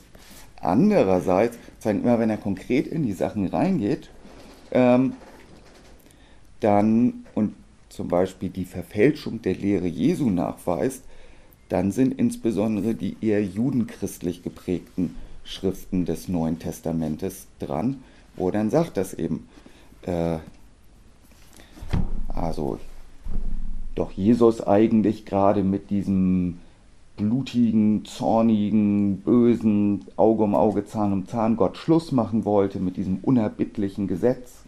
Aber äh, das wird eben, das wird dann eben wieder von hinten eingeführt in sowas wie dem Lukas-Evangelium, weil das eben eher judenchristlich geprägt ist und äh, lobt dann das Johannesevangelium, was das antijüdischste der vier, ähm, äh, der vier Evangelien ist. Und tatsächlich ist ja das Judentum schon allein deswegen für universalistische Religionskritiker ein Skandalon, weil es anders als Christentum in Islam nicht für alle offen steht, sondern weil es immer noch diese Male, diese Spuren einer Stammesreligion trägt. Und es gibt ja dieses schöne Bilderbuch, wo bitte geht's zu Gott, fragte das kleine Ferkel, und das es so ein bisschen Aufregung mal vor zwei, drei Jahren gab. Und da gibt es äh, in diesem Bilderbuch für jede der drei äh, gro großen Religionen, Judentum, Christentum, Islam, jeweils eine Doppelseite, wo dann einfach und kindgerecht erklärt wird, sagen, was das Schlimme und Böse daran ist. Und beim Judentum ist dann das Schlimme und das Böse daran, dass das kleine Schweinchen gar nicht in die Synagoge darf, weil es ja kein Jude ist. Und mh, hm, genau dieses, man, man ja, ist nicht für alle da, hat so dieses archaische, stammesgeschichtliche, ist natürlich auch so ein bisschen was Peinliches. Aber, und das ist eben dann wiederum die historische Perspektive, aber gerade das wiederum ähm, hält gleichzeitig auch jenen archaischen Moment der Menschheitsgeschichte fest, als sich eine unglaubliche Transformation ähm, in der Religion abgespielt hat, nämlich der Übergang zum Monotheismus und noch viel wichtiger, die Bindung, also sagen, die Fundierung des Glaubens nicht im Ritus, sondern in Wahrheit. Also eben äh, oder allgemeiner in ethischen Handlungen. Also die, das Wichtigste, was ein Jude nach, nach der Tora ja tun muss, ist eben nicht in den richtigen Momenten opfern oder irgendwelche anderen Riten vollführen. Das gehört zwar dazu, aber das Wichtigste ist eben, äh, man ehrt Gott, indem man nach seinen Geboten lebt, indem man nach ethischen Geboten lebt.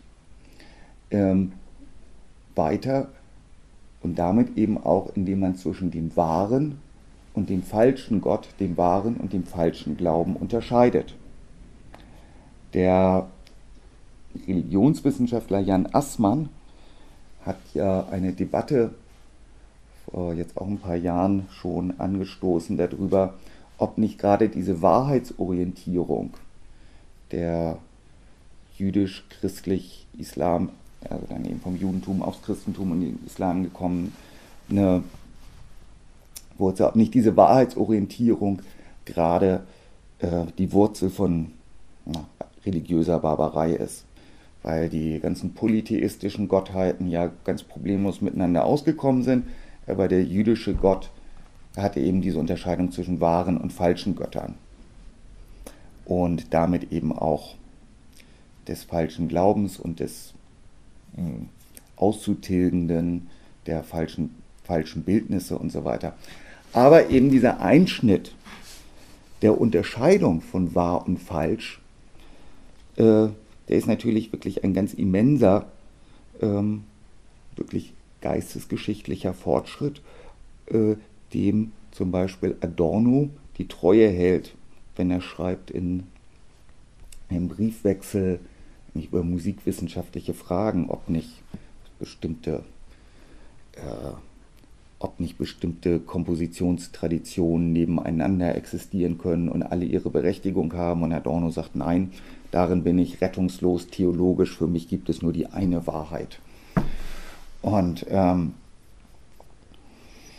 äh, ja, aber das ist natürlich auch wirklich die Bedingung, unter denen man überhaupt reden und streiten kann dass nicht alle irgendwie recht haben können, sondern dass es tatsächlich wahr und falsch gibt.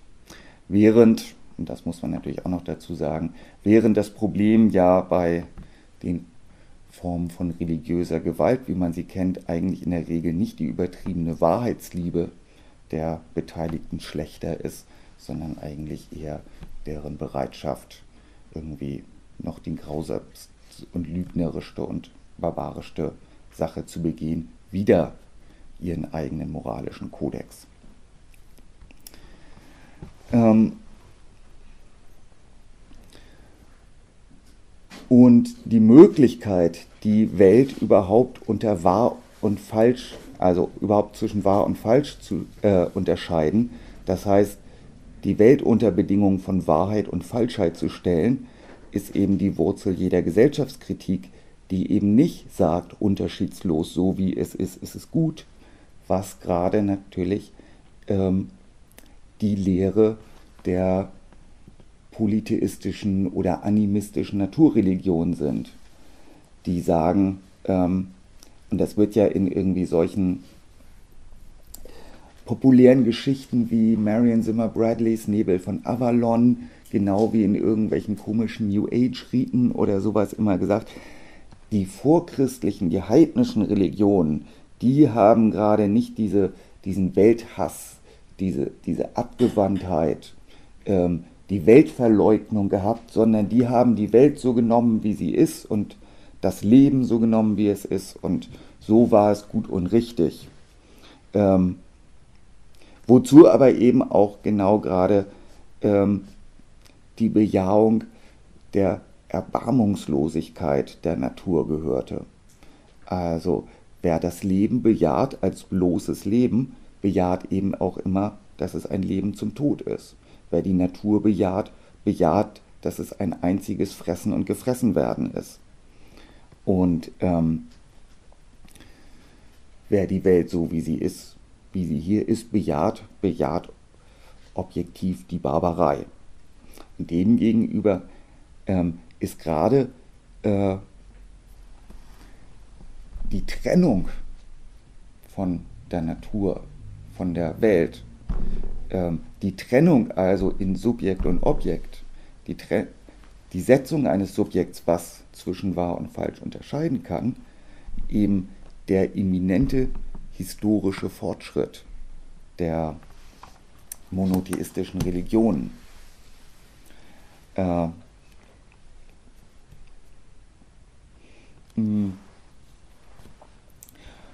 Während also alle Vorstellungen von äh, diese heidnischen, post- oder prächristlich-jüdischen hm, Riten reden ja immer ganz viel von Ganzheitlichkeit und so.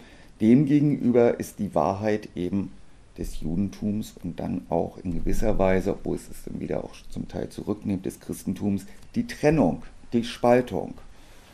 Äh, und es gibt ein vielleicht wunderbares Zitat von Gilbert Keith Chesterton, wo er in, ähm, in Anknüpfung an ein Jesuswort, was den, gerade den, den Exegeten eigentlich mal große Schwierigkeiten macht, denn Jesus sagt äh, an einer Stelle, ich weiß gar nicht mehr in welchen der Evangelien, ich bin nicht gekommen, die Liebe zu predigen, sondern das Schwert.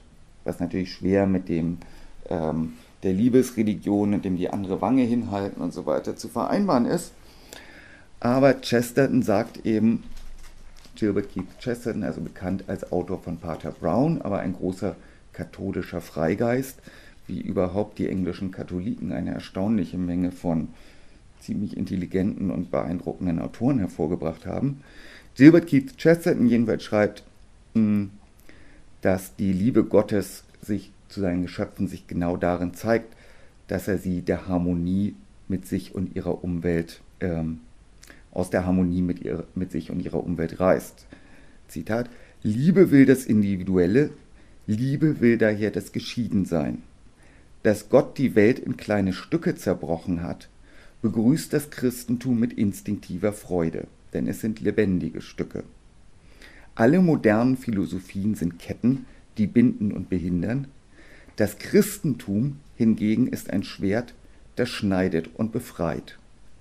Keine andere Weltanschauung lässt zu, dass Gott über die Aufspaltung der Welt in lebendige Seelen frohlockt. Weswegen eben auch ähm, die Vertreibung aus dem Paradies, mit der ja äh, die Tora oder die, die fünf Bücher Mose beginnen, ähm, immer schwer zu sagen ist, ob es sich dabei eigentlich um eine Strafe oder ganz im Gegenteil um eine Belohnung Gottes handelt. Und es ist auf jeden Fall eben das Bemerkenswerte auch an der jüdischen Religion, dass das Paradies zwar am Anfang steht, aber eigentlich nur kaum gestreift wird und die Geschichte erst beginnt mit der Trennung von Gott, ähm, der Trennung sozusagen von ähm, der mythischen Alleinheit und damit aber eben auch gesetzter Unwissenheit über sich und die Welt. Ähm, also in dem Zustand des blinden Umfangenseins. Hm. Peter Hacks sagt es so schön, Gott schimpft, aber er schenkt ihnen Hosen.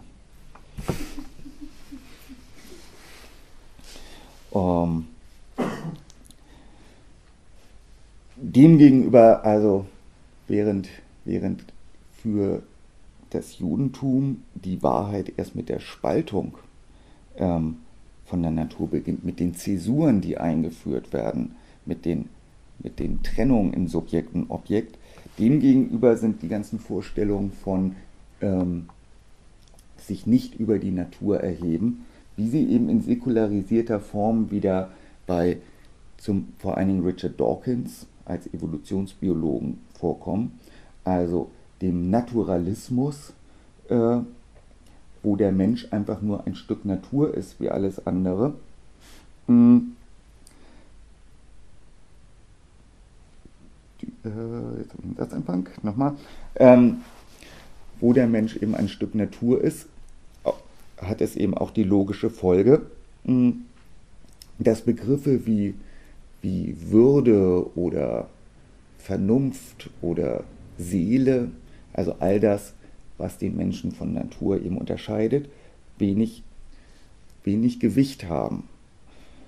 Wodurch dann, ähm, der schon die Zitate vorgelesen, wo der Mensch eigentlich als dummer Neandertaler mit zu kleinem Gehirn und zu großen Adrenalindrüsen durch die Welt zieht, ähm, wo aber dazu eben tatsächlich noch kommt eine ganz spezifische Entwürdigung zur Natursubstanz, die Dawkins zum Beispiel davon reden lässt, dass die Menschheit die einzige Tierart ist, die nicht einfach zum Arzt, vom Arzt eingeschläfert werden darf, was er scheiße findet, weil er möchte sich ja gerne, äh, wenn es dann mal so weit ist, das Leben rausoperiert bekommen wie einen überflüssigen Blinddarm.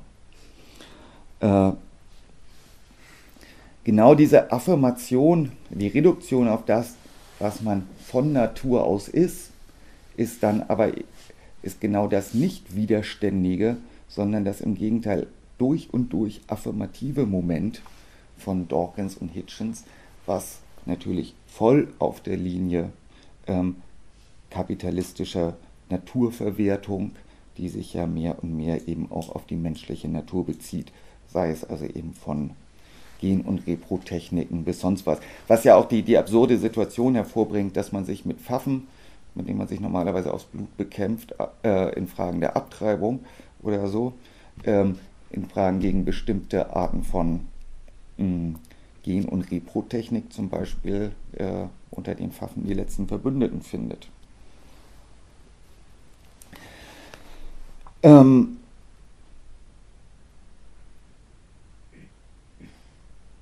Wenn es also die, nach Peter Hacks, dem großen sozialistischen Dichter, die Aufgabe des Kommunismus ist, sich nicht nur die Schönheiten, sondern eben auch die Wahrheiten des Christentums anzueignen, so gehören dazu eben gerade die, diese Geschichte der Trennung von der Natur, der Trennung von Mensch und Mensch, die so etwas wie individuelle Liebe überhaupt denkbar macht, ähm, die Äh, und, und dann schließlich auch so etwas wie Versöhnung.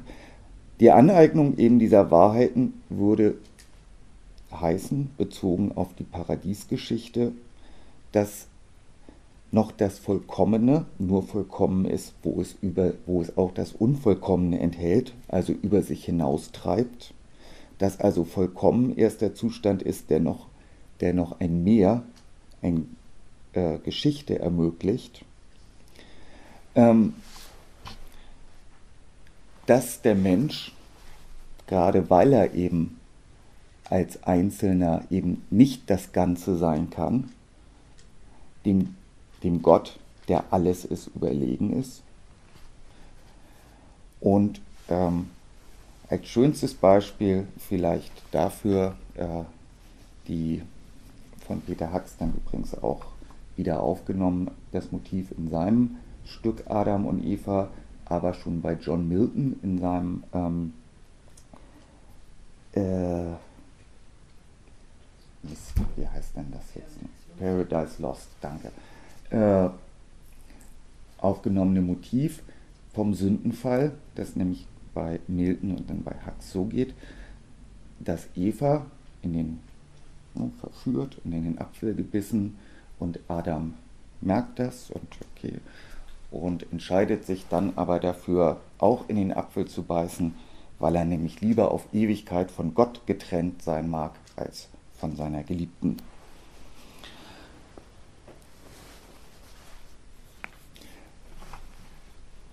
An, was heißt also Aneignung? Ähm, zum Schluss, was heißt dieses Motiv der Aneignung der Wahrheiten des Christentums? Über dieses Motiv der individuellen Liebe, der Trennung von Subjekt und Objekt, äh, der Trennung von Subjekt und Subjekt als Vorbedingung für Versöhnung. Ähm, die tiefsten Motive davon gibt es vielleicht bei Walter Benjamin, äh, dessen, dessen theoretisches Werk ja geradezu auf die Einwanderung der Theologie ins Profane gerichtet ist. Also das, das Profane heißt das Diesseitige, Nicht-Religiöse. Es gibt bei Benjamin zwei wirklich wesentliche Motive. Das eine ist das von der Apokalypse, das heißt, ähm, die, oder die Lehre von der Hölle, die nämlich diese Welt ist, in dem wunderbaren, unscheinbaren Satz des Passagenwerkes, dass es so weitergeht, ist die Katastrophe. Also keine, wie von Robert Kurz in den Krisentheorien ausgemalte, zukünftiges Zusammenbruch, sondern das ganz profane, immer die Wiederkehr des Immergleichen, wie der Kapitalismus organisiert, schon als die Hölle zu erfahren, die sie ist. Und andererseits davon abgeleitet eine Vorstellung des Umschwungs, des Umschlags, des Bruchs, ähm, die ich nur einmal kurz vorlesen werde, dass nämlich gerade die, ähm, die Unerlöstheit der Welt, die, dass der Messias eben noch nicht gekommen ist, dass das gleich und gleich ähm, weitergeht, die Möglichkeit des anderen erst eröffnet. Und zwar, ähm, das ist in seinem, in Walter Benjamins Kafka-Aufsatz, findet sich eine kurze Stelle, die so geht. Nämlich eine alt, er referiert darin eine alte jüdische Legende, die heißt eine Prinzessin, die verbannt fern ihrer Landsleute in einem fremden Dorf schmachtet, erhält Nachricht von ihrem Verlobten. Er, also der Verlobte, habe sie, die Prinzessin, nicht vergessen und sei auf dem Weg zu ihr. Um das Dorf, dessen Sprache die Prinzessin nicht versteht, an ihrer Freude teilhaben zu lassen, richtet sie ein Festmahl aus. Der Verlobte, so sagt der Talmud, ist der Messias, die Prinzessin die Seele und das fremde Dorf der Körper. Und diese Legende ist eben dann die Antwort darauf, warum die Juden am Freitagabend ein Festessen feiern. Derart als Einstand von spirituellem Glück und sinnlichem Genuss wäre Versöhnung historisch materialistisch zu denken. Denn es ist ja nicht nur die Entfremdung vom Leib, die in die Anweisung auf dessen Verwöhnung umschlägt, es ist die Abwesenheit des Messias selbst, die es ermöglicht, dass sein Wort, also die Ankündigung seines Kommens, im denkbar unmittelbarsten Sinne Fleisch werden kann, nämlich Fleisch zu einem Festmahl, das beständig wiederholt, die sehnsüchtige Erwartung der Erlösung in Szene setzt, welche von Erfüllung nicht mehr zu unterscheiden wäre.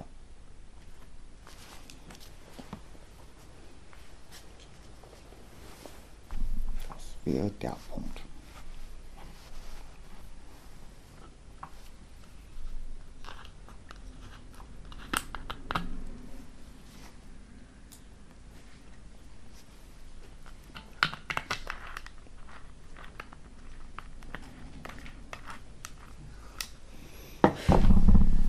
erstmal vielen Dank und damit könnten wir vielleicht jetzt in so eine weiterführende Diskussion einsteigen. Aber vielen Dank erstmal für das Referat von dir. Ja.